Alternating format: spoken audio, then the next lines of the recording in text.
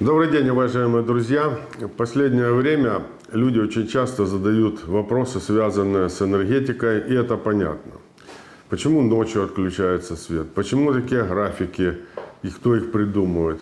Кто будет восстанавливать? За какие средства энергетику? Как защитить энергетику от э, российских э, агрессоров?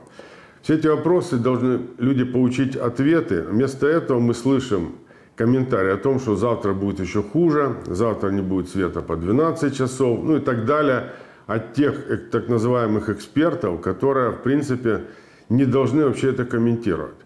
Должны профессионально заниматься энергетикой, защитить страну и обеспечить ее энергетическую безопасность.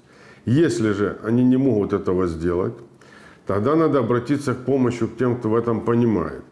И я уже думаю, что нам надо создать следственную комиссию в парламенте, которая бы разобралась со всеми вопросами, как защищалась энергетика, каким образом будет обеспечиваться энергетическая безопасность в будущем, а не пугать людей подобными заявлениями. Всем оставаться живыми, здоровыми. До новых встреч.